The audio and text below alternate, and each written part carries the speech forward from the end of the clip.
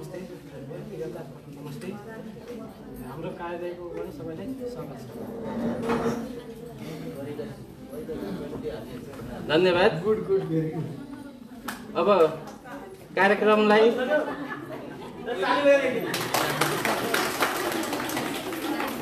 कार्यक्रमलाई औपचारिक रूपमा शुभारम्भ गरिदिनु हुनको लागि म आजको यस कार्यक्रमका प्रमुख अतिथि अनि विशिष्ट अतिथिज्यूलाई हाम्रा भगवान् धन्वन्त्रीको फोटो राखिएको छ अगाडि। हाम्रो आयुर्वेद जननी भगवान् धन्वन्त्रीको फोटोमा पुष्प अर्पण गरेर कार्यक्रमको शुभारम्भ गरिदिनु हुनको लागि आदरणीय प्रमुख अतिथिज्यू विशिष्ट अतिथिज्यू एवं कार्यक्रमका अध्यक्षज्यू यहाँहरू सबैलाई एकमुष्ट रूपमा म हार्दिक अनुरोध गर्दछु।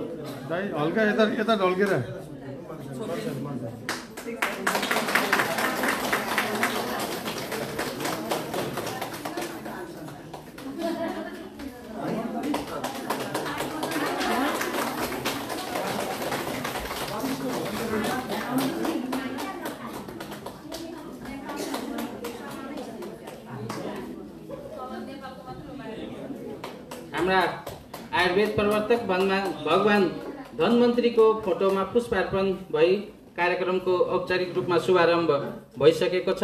यहाँहरूलाई पुनः धन्यवाद ज्ञापन गर्दै म कार्यक्रमलाई अगाडि बढाउन चाहन्छु।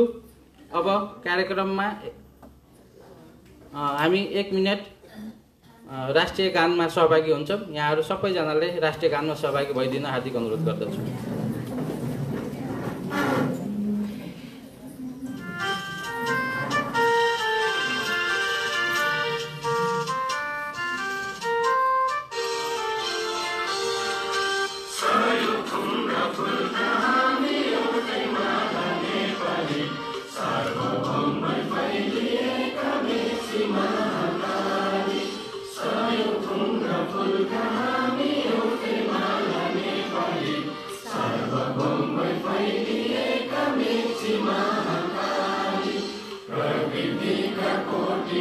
धन्यवाद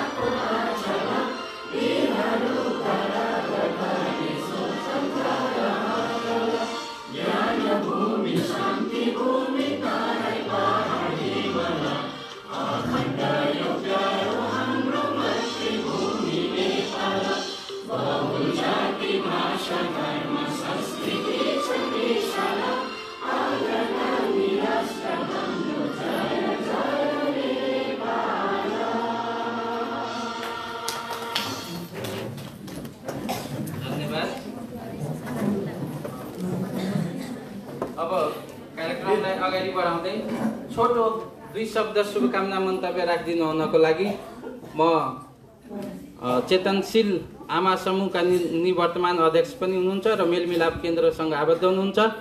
म्याडम श्री अनिता अर्याललाई म हार्दिक अनुरोध गर्दछु।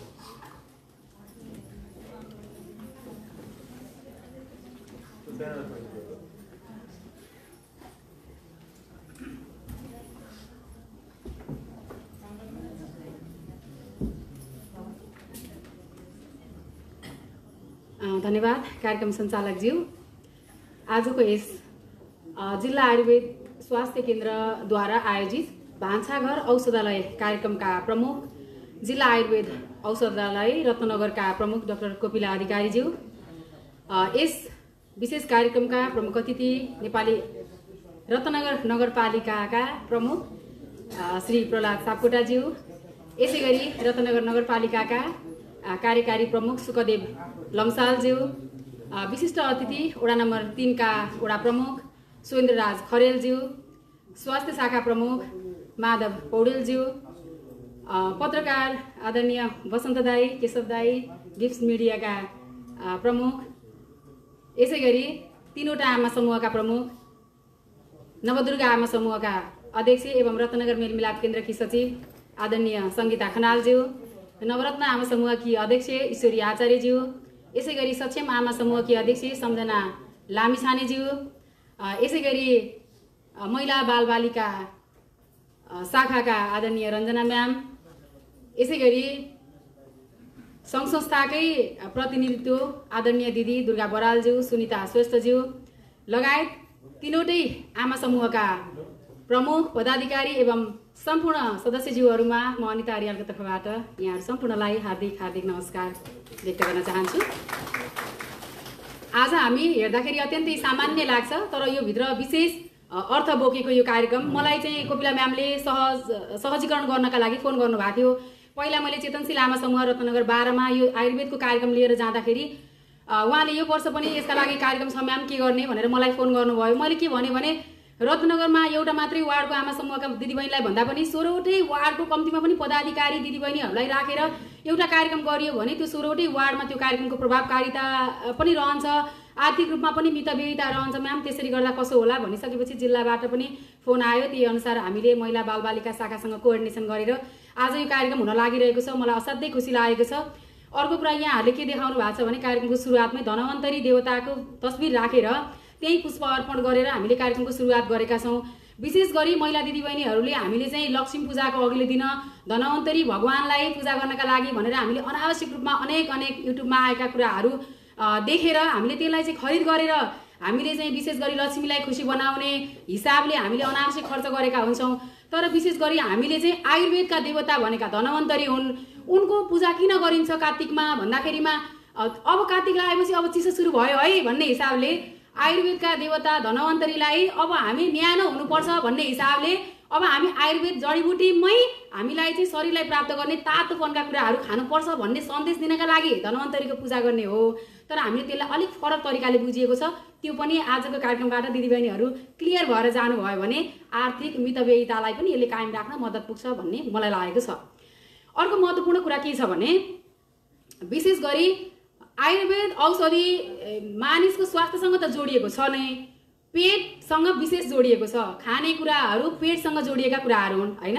स्वास्थ्यको क्षेत्रमा सबैभन्दा हामीले जिन्दगीभरि कमाएको पैसा हामी एउटा जीवनको उत्तरार्धमा पुगिसकेपछि हाम्रो कमाइको अधिकांश खर्च कहाँ हुन्छ भन्दा स्वास्थ्यमा खर्च हुन्छ। त्यो खर्च के कारणले गर्छौँ भन्दा हाम्रै लापरवाहीले गर्छौँ। हामीसँग हाम्रै वरपर भएका आयुर्वेदका औषधिहरूलाई भान्सामा प्रयोग गऱ्यौँ भने हामी स्वस्थ हुन सक्छौँ। त्यो विशेष गरी आमा समूहलाई किन छनौट गरिएको छ भन्दाखेरि अधिकांश नब्बे प्रतिशतभन्दा बढी महिलाहरू भान्से हुनुहुन्छ।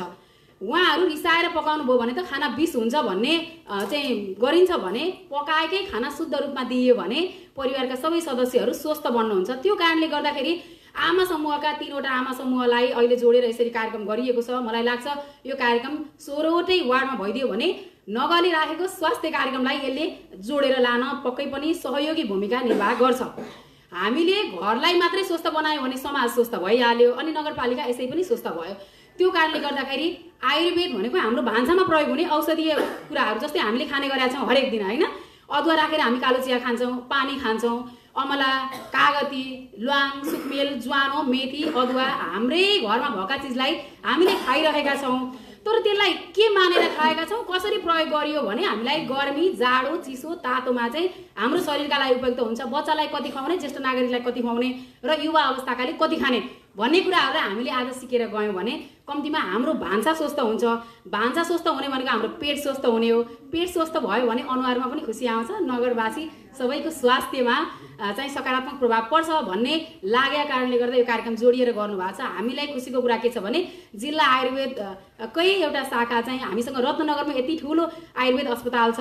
यसलाई हामीले पूर्ण रूपमा प्रयोग मात्रै गर्न सकियो भने पनि हामी स्वस्थ हुन सक्छौँ भन्दै यो कार्यक्रम पूर्ण रूपमा तपाईँ सहभागी भएर बसेर यो कार्यक्रम बाट चाहिँ पूर्ण रूपमा लाभ लिन सक्नुहुनेछ भन्ने अपेक्षासहित यो कार्यक्रमको पूर्ण सफलताको शुभकामना व्यक्त गर्दछु धन्यवाद नमस्कार।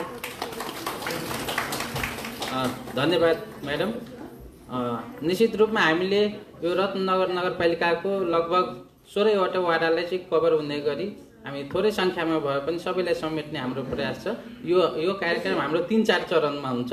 त्यसपछि अर्को हप्ता पनि हुन्छ। अरू अरू वाडाको स आमा समूहहरूलाई हामीले सहभागी गराउँछ। यो कार्यक्रम हाम्रो तिनदेखि चार चरणमा हुने भएकोले यहाँले भनेअनुसार निश्चित रूपमा सबै वाडाका हामीले आमा समूहहरूलाई समेट्ने प्रयास गर्छौँ यो कार्यक्रम मार्फत। अब हामी कार्यक्रमलाई अगाडि बढाउँदै हाम्रो निश्चित समयभन्दा अलि समय लगभग एक घन्टा ढिलो भइसकेको हुनाले हामीले मन्तव्यको क्रम अलिक छोटो बनाएका छौँ। अबको क्रममा शुभकामना मन्तव्य राखिदिनु हुनको लागि रनपाका प्रमुख प्रशासकीय अधिकृत आदरणीय सुखदेव लम्साल सरलाई म हार्दिक अनुरोध गर्दछु।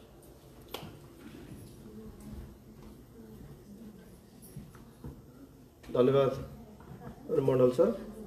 यस कार्यक्रमका श्रद्धेय अध्यक्ष एवं प्रदेश आयुर्वेद कार्यालयका कार्यालय प्रमुख मेरो त कोपिला बहिनी नाताली महावर श्री पनि पर्नुहुन्छ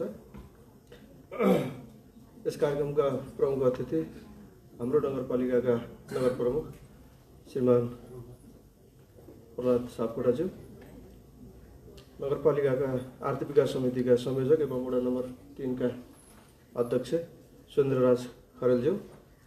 र यस कार्यक्रममा उपस्थित हुनुहुने सम्पूर्ण अतिथि महानुभावहरू। आज आयुर्वेद रत्नगर जिल्ला आयुर्वेद स्वास्थ्य केन्द्र अहिले त प्रा प्रदेश भइसक्यो नाम चाहिँ भएर छैन। स्वास्थ्य केन्द्र रत्नगरले भान्साघर औषधालय कार्यक्रम भनेर भान्सा नै आफ्नो भान्सा जे छ त्यो नै खा- वास्तवमा आयुर्वेद औषधालय हो भन्ने।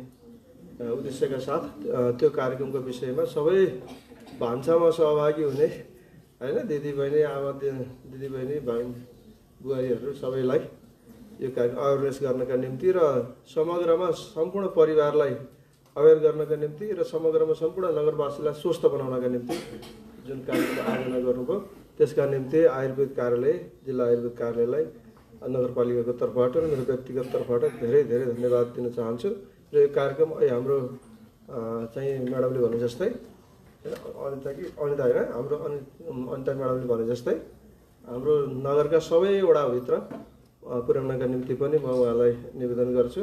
र त्यसका निम्ति हाम्रो नगरले पनि सपोर्ट गर्ने कार्यक्रम छ भने हाम्रो स्वास्थ्य शाखा साथीलाई पनि म हाम्रो सपोर्टेड कार्यक्रम छ भने उहाँलाई सहयोग गर्नको निम्ति अनुरोध गर्दछु र यो कार्यक्रम प्रत्येक व्यक्ति व्यक्तिसम्म पुग्नुपर्छ खास गरी भान्सामा जो छेर्नुहुन्छ र भान्साको संयोजन जसले गर्नुहुन्छ र तरकारी लाने काम जसले गर्नुहुन्छ उहाँले चाहिँ यो जोडिनुपर्छ र यो थाहा पाउनुपर्छ र वास्तवमा जीवन भनेकै स्वस्थ स्वास्थ्य हो होइन स्वास्थ्य रह्यो भने हामी चाहिँ जीवन राम्रोसँग जिउन सक्छौँ रोगी जीवन जतिसुकै धनी र सम्पन्न भए पनि त्यो सधैँभरि दुखी रहिरहेको छ र मन दुखी हुनु भनेको होइन रोगी भएपछि मन दुखी भइरहेको छ।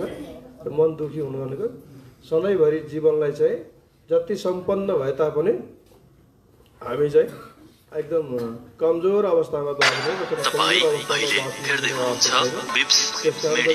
गरिब भए पनि उच्च मनोबलका साथ बाँच्न पाइयो भने त्यसले नै हामीलाई सुख प्राप्ति हुन्छ। र हाम्रो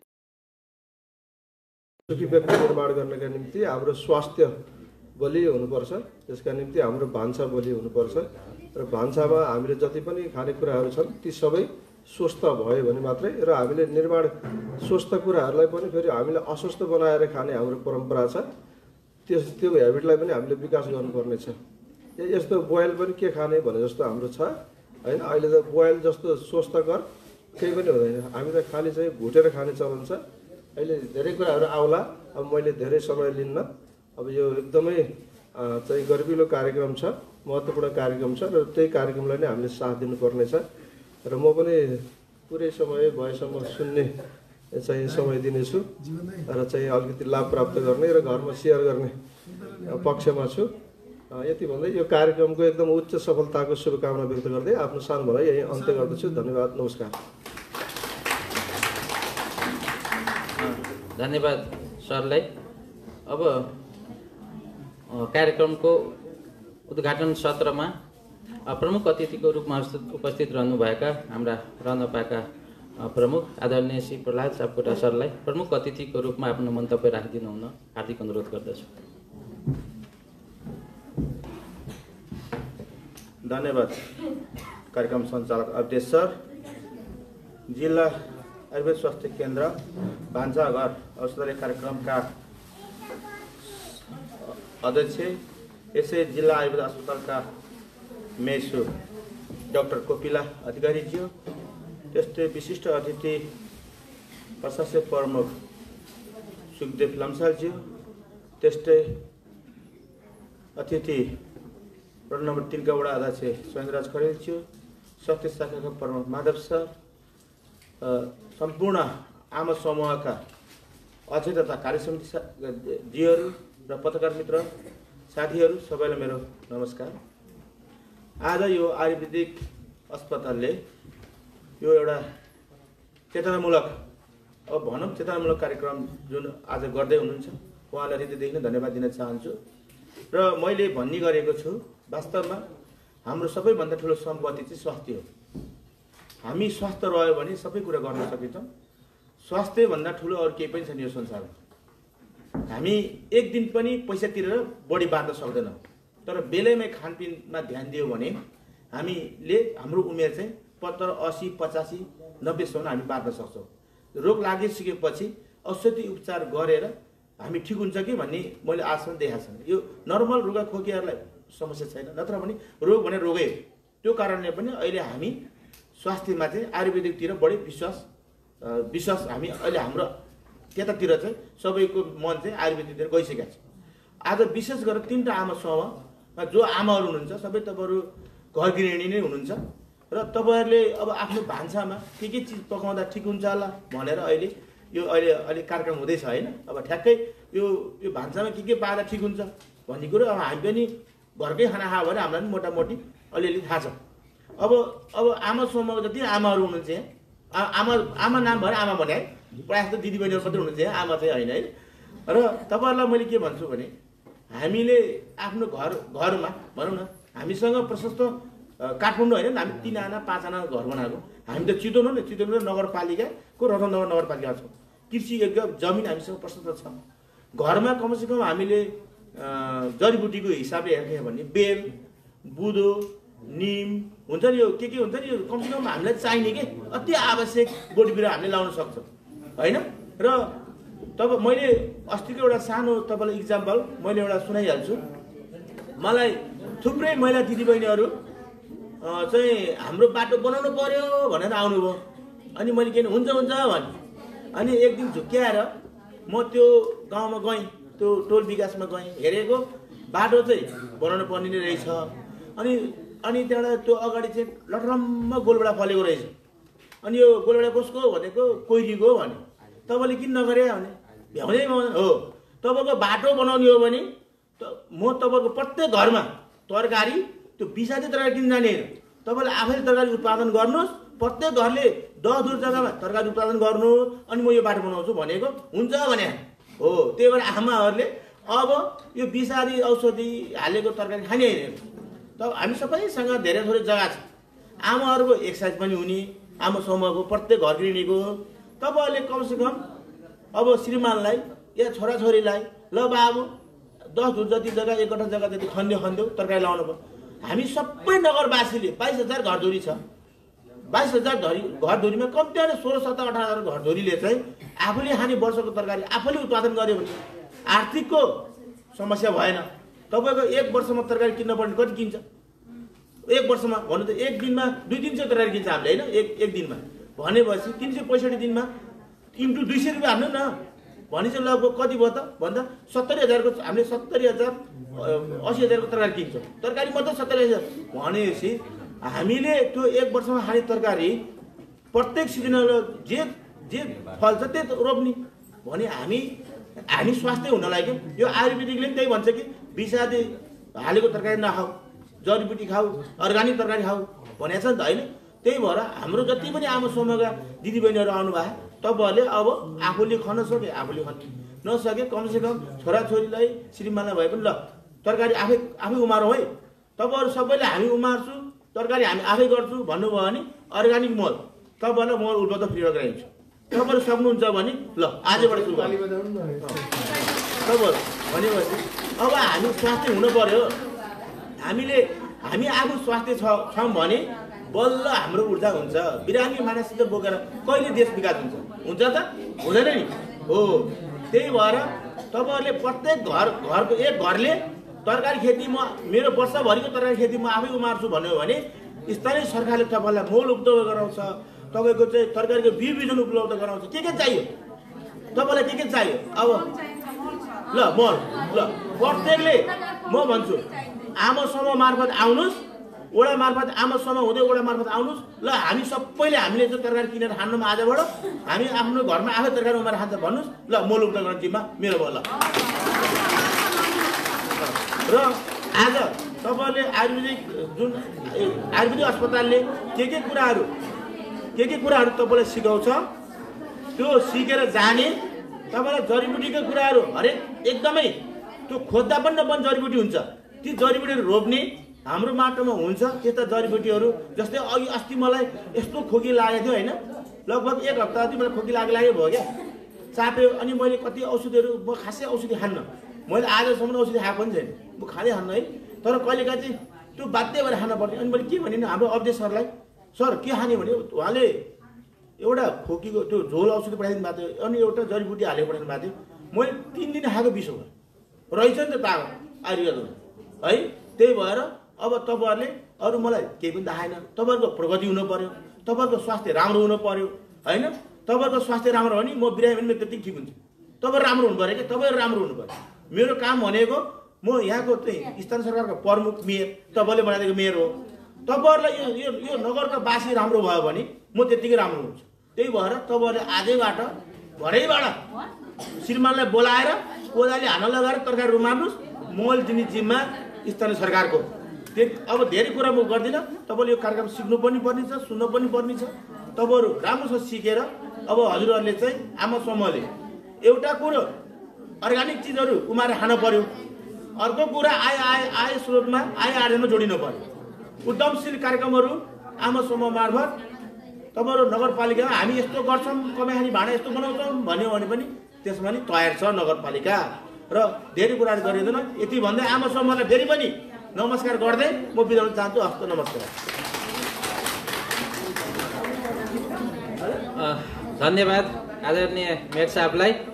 यहाँले एकदमै सान्दर्भिक कुराहरू आयुर्वेदसँग जोडिएका मूलभूत सान्दर्भिक कुराहरू गर्नुभयो। साथसाथै केही मिठो रोचक सन्दर्भ जोडेर उहाँले आफ्नो तर्फबाट हुन सक्ने प्रयास यहाँहरूको हितमा दिने आश्वासन पनि दिएर जानुभयो।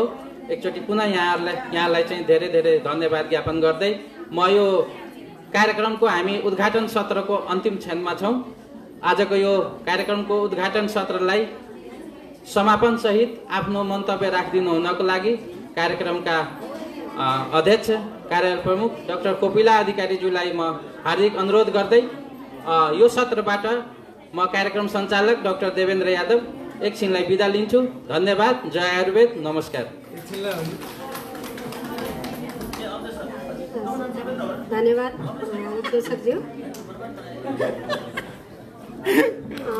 मेरो मन्तव्य सुरु गर्नुभन्दा पहिला म एकचोटि ओम सबैजना कृपया शान्त भएर बसिदिनु होला। सम्भव हुन्छ भने ढाड कम्मर सिधा गरेर आँखा चिम्म गरेर बसिदिनु होला। सुरु एक दुई तिन। धन्यवाद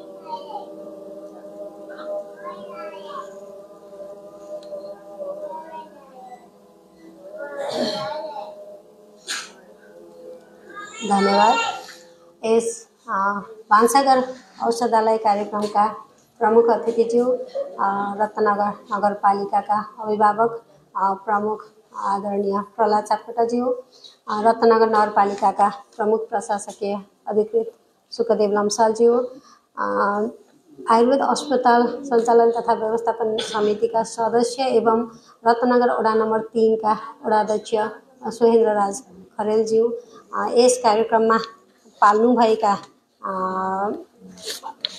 महिला तथा बालबालिका शाखा रत्नगरका प्रतिनिधिज्यू विभिन्न आमा समूहका अध्यक्ष प्रतिनिधि एवं सदस्यज्यूहरू सञ्चारकर्मी स्वास्थ्य शाखा प्रमुख आदरणीय माधव सर जिल्ला स्वास्थ्य केन्द्रका कर्मचारी साथीहरू र यहाँ उपस्थित हुनुभएका सम्पूर्ण महानुभावहरू यहाँहरू सम्पूर्णमा मेरो हार्दिक नमस्कार। ओम नमन भर्खरै मात्र हामीले ओम उच्चारण गऱ्यौँ। मलाई जहाँसम्म लाग्छ सिकाइ व्यवहारिक हुनुपर्छ। प्रत्येक प्रत्येक पल हामी केही कुरा बोल्छौँ। भर्खरै मेयर साहबले आफ्नो मन्तव्य राखेर जानुभयो।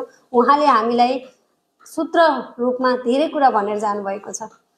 हामी व्यायाम पुगेन भन्छौँ मर्निङ वाक गर्न जान्छौँ।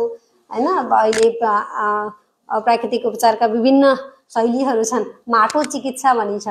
हाम्रै खेतबारीमा जुन त्यो केमिकल भएका मल नराखिकन भएको माटो छ भने प्राकृतिक माटो छ हाम्रो कम्पोस्ट मल जुन यो कम्पोस्टमा प्राङ्गारिक मल मात्रै हालिएको माटो छ भने त्यो माटोमा चल्दाखेरि पनि हाम्रो शरीरलाई उपचार हुन्छ। है माटो चिकित्सा भनेर हामीले प्राकृतिक चिकित्सामा आयुर्वेद उपचार पद्धतिमा माटोकै मात्र पनि चिकित्सा गर्छौँ। त्योसँग हामी अलिक टाढा हुँदै गएको हो कि जुन हाम्रो जननी छ जुन हाम्रो धरती छ त्योभन्दा हामी टाढा टाढा हुँदै गएर हामीलाई धेरै रोगहरूले आक्रमण गर्न थालेको हो कि जस्तो लाग्छ आजभोलिका रोगका प्रकृतिहरू हेर्दा। अब पहिला पहिला एउटा समय थियो झाडा पखालाबाट पनि धेरै मान्छेहरूको मृत्यु हुन्थ्यो विभिन्न किसिमका सर्वा रोगहरू। अहिले पनि सर्वा रोगको प्रकोप छ भर्खर मात्र हामी कोभिडबाट तङ्ग्रिँदैछौँ होइन कोरोनाको सङ्क्रमणबाट। तैपनि नसर्ने रोगको तथ्याङ्क हेऱ्यो भने अहिले धेरै जसो मानिसहरूको मृत्यु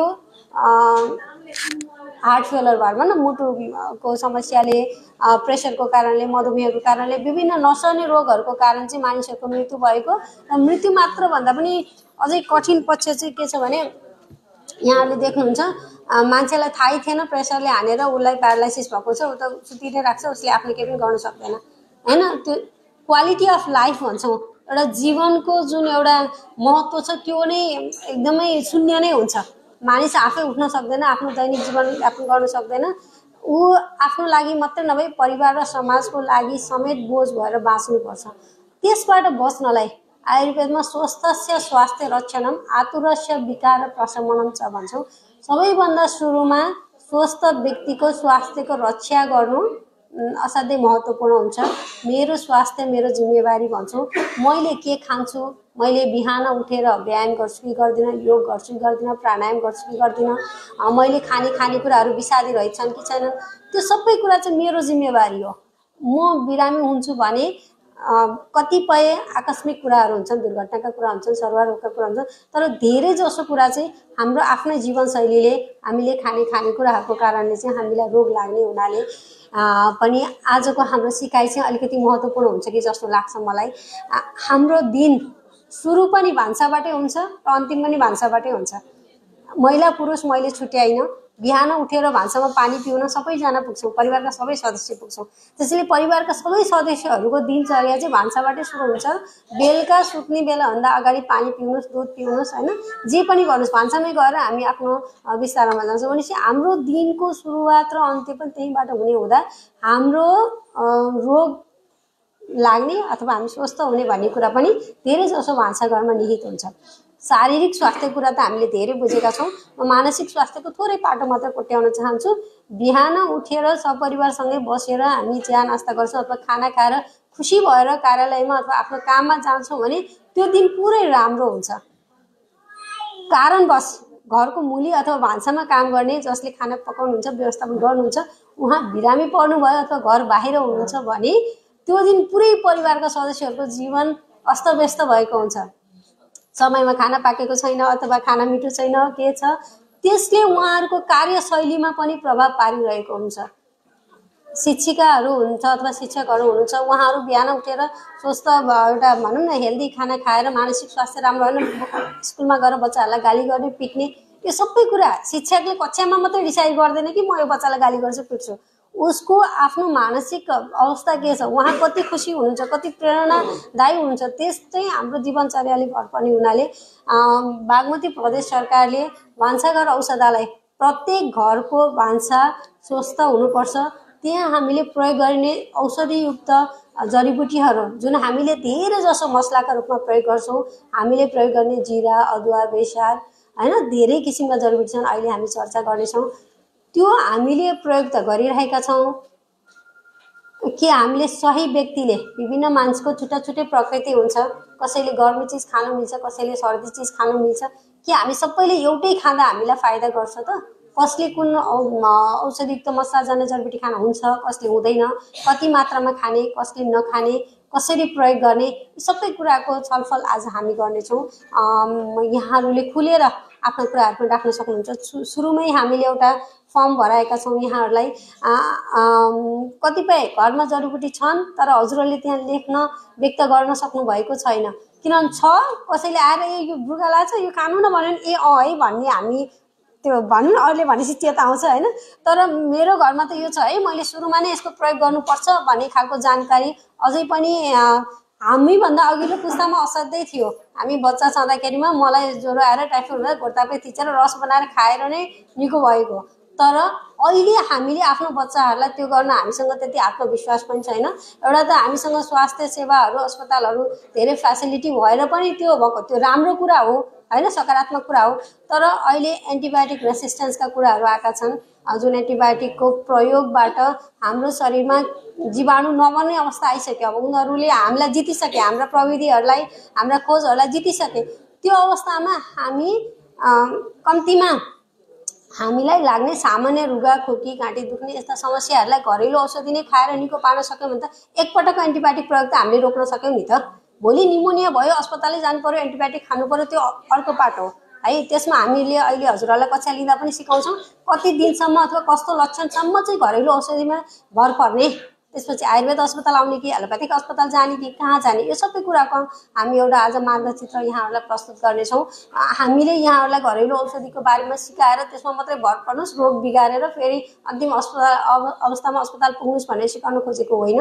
हामीले चाहिँ हामीसँग भएको स्रोत साधनको म्याक्सिमम् प्रयोग गरौँ। र विश्वमा आइरहेको जुन एन्टिबायोटिक रेसिस्टेन्सको समस्याहरू छ त्यसबाट हाम्रो समाजलाई हाम्रा बालबच्चालाई नयाँ जेनेरेसनलाई बचाउनलाई हामीले कसरी अगाडि बढ्न सक्छौँ भन्ने कुरा मात्र हामीले एउटा छलफल गर्न खोजेका हौँ। अहिलेलाई म यति नै भन्छु फेरि हामी कक्षामा धेरै कुराहरू गर्ने नै छौँ हाम्रो नगर प्रमुख अनुरागजी यहाँ हुनुहुन्छ म उहाँ रत्न नगरपालिकालाई विशेष धन्यवाद दिन चाहन्छु। नगरपालिकाले जग्गा उपलब्ध गराएर हामीले पच्चिस बेडको आयुर्वेद अस्पताल भवन निर्माण गरिरहेका छौँ। त्यसको दम दरबन्दी संरचना स्वीकृत भएको थिएन। भर्खरै मैले पन्ध्र दिन अगाडि मेयर साहबलाई भेटेर मन्त्रीज्यूलाई आफ्नो कुरा राखिदिनु हुन अनुरोध गरेको थिएँ र अघिल्लो हप्ता मात्रै हाम्रो दरबन्दी संरचना स्वीकृत भएर आउने श्रावणदेखि हामीले आयुर्वेद अस्पताल सुरु गर्न सक्ने अवस्थामा पुगेका छौँ। आजसम्म हामी ओपिडीमा मात्र बिरामी हेर्नुपर्ने र बिरामीलाई फेरि घर पठाउनु पर्ने अवस्था थियो। बाह्र दिन पन्ध्र दिन एक महिनासम्म थेरापी लिने बिरामी पनि टाढादेखि अटो भाडा तिरेर आउने जाने गरेर उपचार गर्नुपर्ने अवस्था थियो। साउनदेखि हामी बिरामी भर्ना गरेर उपचार गर्न सक्ने अवस्थामा पुगेका छौँ। यसको श्रेय पक्कै पनि रत्न नगरपालिकालाई जान्छ र बागमती प्रदेश सरकार स्वास्थ्य मन्त्रालयप्रति पनि हामी कृतज्ञता व्यक्त गर्न चाहन्छौँ। साथै प्रादेशिक आयुर्वेद औषधि उत्पादन केन्द्रको पनि स्थायी संरचना पारित भएको छ। अब हामीले अझै पनि मेयर साहब यहीँ हुनुहुन्छ म एउटा नीतिगत कुरा राख्न चाहन्छु। प्रत्येक घरमा उब्जिएको पाँच किलो गुर्जो दस किलो निम दस किलो बेसार चाहिँ हामीले बेच्न पाउने अवस्था सिर्जना गर्नुपर्छ जस्तो लाग्छ मलाई। जडीबुटी सहकारीहरू दर्ता भएका छन् चितवनमा पन्ध्रवटा जडीबुटी सहकारीहरू दर्ता भइसकेका छन्। उहाँहरू मार्फत चाहिँ हामीले किन हरियो वन नेपालको धन वास्तवमा सही कुरा हो। हामीले सदुपयोग मात्र गर्न सकेका छैनौँ। जङ्गलमा गुर्जो सुकेर जान्छ तर त्यसलाई कलेक्सन गरेर औषधि बनाउनको लागि अझै पनि नीतिहरूले कता कता बाधा पुर्याइरहेका छन्। यो खरिद नियमावलीले गर्दा औषधि उत्पादन केन्द्र पनि बाँधिएको छ। एकमुष्ट रूपमा जडीबुटीहरू खरिद गर्नुपर्ने र स्थानीय स्तरमा उपलब्ध भएका जडीबुटी किन्न नपाउने नियमले गर्दा थोरै बाधा पुगेको छ। यसलाई पुकाउनलाई नगर प्रमुखज्यूको नेतृत्वमा उहाँको मार्गदर्शनमा पक्कै पनि हामीले केही नीतिहरू प्रदेश लेभलबाट पास गराउन सकिनेछ र हाम्रो घर घरमा भएका जडीबुटीहरूलाई व्यावसायिक रूपमा पनि सदुपयोग गर्न सक्नेछौँ। त्यसपछि हामीले जडीबुटी खेतीका व्यवसायिक कार्यक्रमहरू पनि ल्याउन सक्छौँ नर्सरीहरू निर्माण गर्ने होइन अमला खेती हुन्छ अथवा निम खेती हुन्छ गुर्जो खेती हुन्छ यस्तो खेती अभियानलाई चाहिँ अगाडि बढाउने र जडीबुटी खेतीसँगै मानिसको आर्थिक एउटा उन्नतिको बाटो पनि हामीले मार्ग प्रशस्त गर्न सक्छौँ जस्तो लाग्छ। यिनै कुराहरू नगर प्रमुखज्यूलाई अनुरोध गर्दै र यहाँहरू सम्पूर्णलाई पुनः एकपटक जुन यो होइन मेयर साहबले त लास्ट इयर पनि भनिसक्नु भएको छ। अलिअलि सुरु पनि भएको छ। म देख्छु हाम्रो बाटोको साइडहरूमा तेजपातहरू होइन यो लगाइएका छन्। र अशोकको वृक्ष है म मेयर साहबलाई विशेष चाहिँ जुन यो सीता अशोक भन्छ फुल फुल्ने अशोक हाम्रो यो कृष्ण मन्दिर उता कृष्ण मन्दिरको प्राङ्गणमा जुन छ अनि हाम्रो जिल्ला आयुर्वेदको प्राङ्गणमा पनि छ। त्यो असाध्यै सुन्दर पनि हुन्छ। र अशोक सीता अशोक जुन हामीले लगाउने त्यो काष्ठदारू हो साइड साइडमा लगाउँछौँ नि सानसानो सर्लक्क परे जाने त्यो चाहिँ काष्ठदारू हो। त्यो हेर्दा राम्रो छ। पर्यावरणमा त्यसको फाइदा त्यति धेरै छैन तर सीता अशोक लगाउन सक्यौँ भने सायद हाम्रो वडा नम्बर एकको त धेरैजना घरमा पनि हामीले एक घर पाँच जडीबुटी कार्यक्रम अन्तर्गत अघिल्ला दुई वर्षहरूमा चाहिँ प्रत्येक घरमा बेल गुर्जो सीता अशोक तेजपात चन्दन यस्ता जडीबुटीहरू चाहिँ होस् भनेर हामीले जडीबुटी वितरण पनि गरेका थियौँ। सुरुमा म थोरै इतिहास पठाउन चाहन्छु। म जिल्ला आएको आएको लगभग पाँच वर्ष हुनलाई त्यो डेङ्गुको समय थियो। डेङ्गुमा गुर्जोको रसले असाध्यै फाइदा गर्ने। मैले कति मान्छेलाई त्यो गुर्जोको रस खानु न भनेर लेखेँ चिन्दै चिन्नु भएन। मैले बुझाउनै सकिनँ। त्यसपछि हामीले गुर्जोको नर्सरी जस्तो पोली ब्यागमा बनाएर गुर्जो नै बाँडेका थियौँ। अहिले मलाई जस्तो लाग्छ रत्नगरको धेरै जसो मानिसहरूको घर घरमा गुर्जोका त्यो भेट्न सकिन्छ। गुर्जोहरू भेट्न सकिन्छ निमहरू भेट्न सकिन्छ तेजपातहरू भेट्न सकिन्छ। यसरी हामी सबल बन्दै गएका छौँ। अब यसलाई व्यवसायीकरण गर्नुको लागि नीति निर्माणको आवश्यकता छ। भोलि गएर फेरि त्यही गुर्जो झाडी फाल्नलाई अप्ठ्यारो भयो भने मान्छेले फेरि त्यसलाई रुचाउनुहुन्न। त्यसलाई हामीले कसरी त्यो व्यवसायीकरण गर्न सक्छौँ भन्नेतर्फ हामीले सोच्नुपर्ने हुन्छ। म यति नै कुराहरू राख्दै जडीबुटी खेतीलाई उद्यमतर्फ धकल्नलाई मेयर साहबको विशेष पहलको अनुरोध गर्दै यो उद्घाटन कार्यक्रममा आफ्नो अमूल्य दीप हाल्नु भएकोमा यहाँहरू सम्पूर्णलाई हार्दिक धन्यवाद व्यक्त गर्दै यो उद्घाटन सत्र यही समापन भएको र हामी प्राविधिक सत्रमा प्र एकछिनमा प्रवेश गर्नेछौँ भन्दै यहाँहरू सम्पूर्णबाट बिदा हुन चाहन्छु। हार्दिक धन्यवाद। नमस्कार। जय हाइवे